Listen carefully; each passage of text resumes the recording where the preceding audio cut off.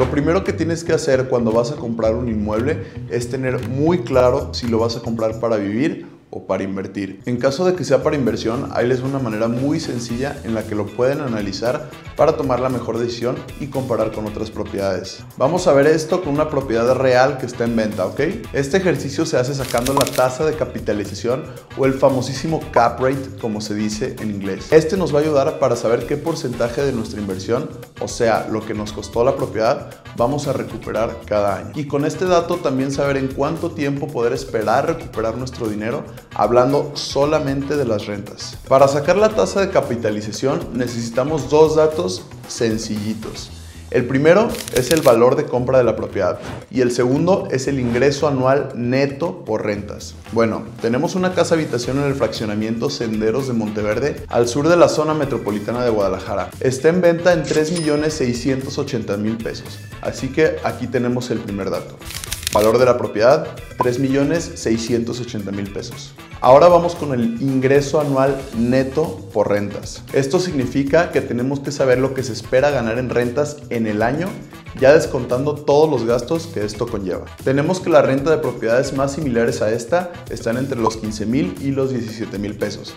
Así que vamos a cerrarlo en 16.500 mensuales ya que es una propiedad nueva y con mejores acabados que la mayoría. Renta 16.500 pesos. Así que para sacarlo por año lo multiplicamos por 12 y son 198 mil pesos anuales.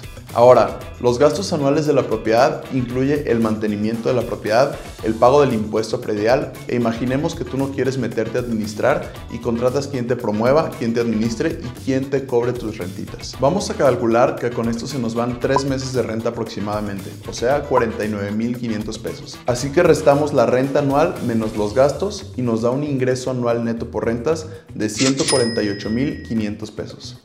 Ahora, con esto tenemos los dos datos principales que necesitamos para conocer nuestra tasa de capitalización, que se saca dividiendo el ingreso anual neto entre el costo de la propiedad, o sea, 148.500 pesos entre 3.680.000 pesos. Esto nos da un total de 0.040 y para representarlo en porcentaje lo vamos a multiplicar por 100. Eso nos da que por año vamos a recuperar el 4% de la inversión que hicimos. Quiere decir también que en 25 años recuperaríamos nuestra inversión completa solamente del ingreso de las rentas. Esto lo puedes sacar dividiendo 1 entre 4, que representa el 4%, y multiplicándolo por 100. Ahora, este no es el único ingreso que un inmueble te genera. También existe la plusvalía, que para muchos es el dato más interesante, pero eso lo vamos a dejar para un próximo video. Y si quieren ir a ver la propiedad de Encenderos Monteverde o que promovamos tu propiedad, mándame un mensaje por aquí.